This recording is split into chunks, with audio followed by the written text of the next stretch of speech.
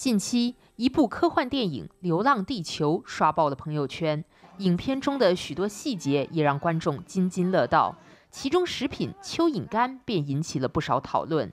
其实，蚯蚓干在现实生活中早有生产。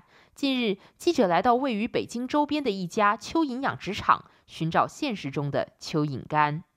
走进蚯蚓养殖场，一股粪便的味道扑面而来。工作人员介绍，由于捕捉野生蚯蚓会破坏生态环境，如今的蚯蚓干都是用养殖蚯蚓制作，而饲养蚯蚓用的饲料就是动物粪便。蚯蚓被养在一个个大棚里，保障它们生存所需要的温度。养殖蚯蚓，它需要一定的就是温度和湿度。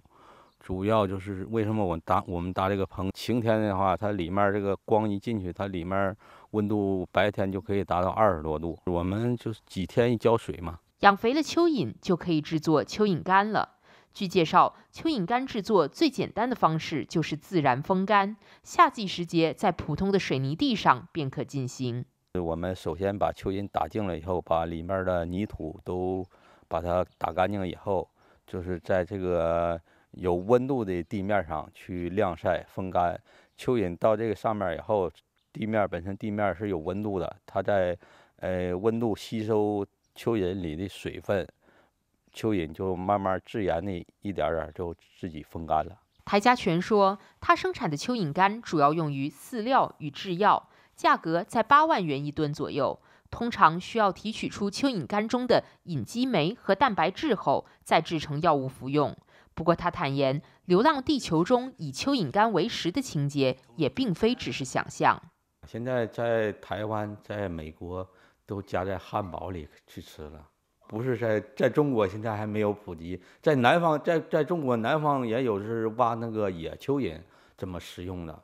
蚯蚓干在世界各地均有生产，但台家全告诉记者，中国尚未有统一的行业标准。现在这个国家没有统一标准，也想统一，但是没有那个一个行业的那个就是联盟是做不了这个。除了用于制药的蚯蚓干外，中药中的地龙指的也是蚯蚓。在网络上，地龙干的价格从十几元到上百元一斤不等。它不仅可以用来入药，还有食客把它用来煲汤。地龙具有清热定惊。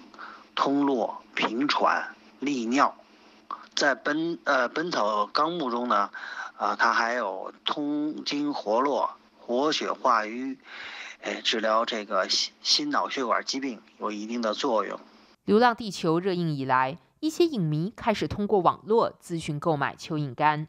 然而，李明表示，蚯蚓干在实际生产中质量标准难以统一，商品质量良莠不齐。盲目跟风购买，可能买到质量非常低劣的产品。